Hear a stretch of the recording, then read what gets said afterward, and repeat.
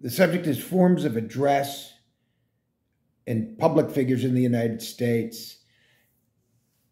In the court case, the lawyers for Trump, probably at his insistence or their own trepidation, call him President Trump. He refers to President Trump. I wonder if the judge has the power and the authority to order that he be called Mr. Trump because it could unduly influence the jurors. He is not the president. He is not President Trump. He is Mr. Trump. President Trump would have been an honorific of a retired politician because usually after the presidency, one leaves office. And therefore, you could have said, Mr. Obama, may I ask? You could have said, President Obama, may I ask you a question? Mr. Obama, may I ask you a question? Personally, I prefer Mr. Obama. We live in a democracy, not a monarchy, even though there's always this tendency to try to add a magisterial tone to the presidency. And, and that's a constitutional problem, that the powers of the political leader are vested in the same office as the chief of state, and therefore the president of the United States um, has two jobs, and he can take advantage of one job towards another.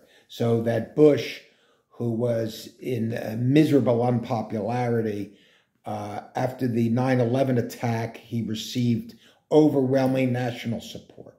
And he used that politically as the prime minister, he used that to prosecute two wars, uh, one of which certainly was a war crime and for which he should be hanged. And instead, he is endearing to many people. Uh, you may remember Michelle Obama leaning her head against the war criminal's shoulders. That ain't good. Likewise, you may notice the blunder by uh, President Biden when he threw his arms around Netanyahu and gave him a big, affectionate hug after the October 7th attacks. Bibi Netanyahu was the prime minister. There was no reason to hug him. The person you want to hug is the president of the country. You don't, you wouldn't want to hug Netanyahu, who is simply the prime minister and does not receive condolences on behalf of the nation. That was lost on Biden for some reason. I consider it a terrible gaffe. People talk about his other gaffes, slips of the tongue. This was a terrible mistake. Likewise, reporters are referring to President Trump. No, it's not President Trump, and you don't have to call him former President Trump.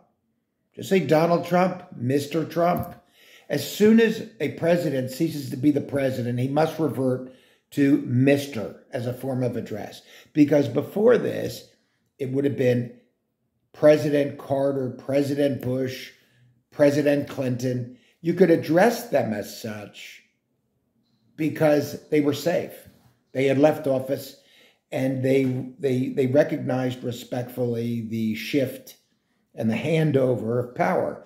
But as soon as Dick Cheney started criticizing President Obama, I would stop calling him Mr. Vice President or Vice President Cheney and just go to Mr. Cheney because if he's going to continue to engage in, in, in political in a political role and use his his prestige as a former vice president to criticize the president, then his office is Mr. Cheney. He doesn't have an office.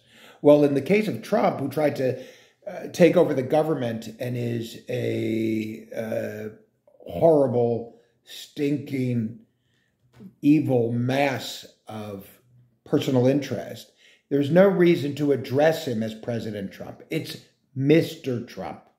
He has no right to demand anything because he has no legal right to be called that. It was an honorific, out of respect, at a time when these people, uh, when these people kept their noses out of public business.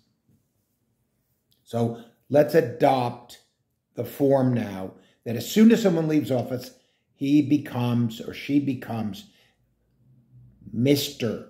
Trump, Mr. Obama, Mr. Clinton. Ms. Clinton, Ms. Trump, Mr. Ms. Harris. Right now it's Vice President Harris. Can we agree on this?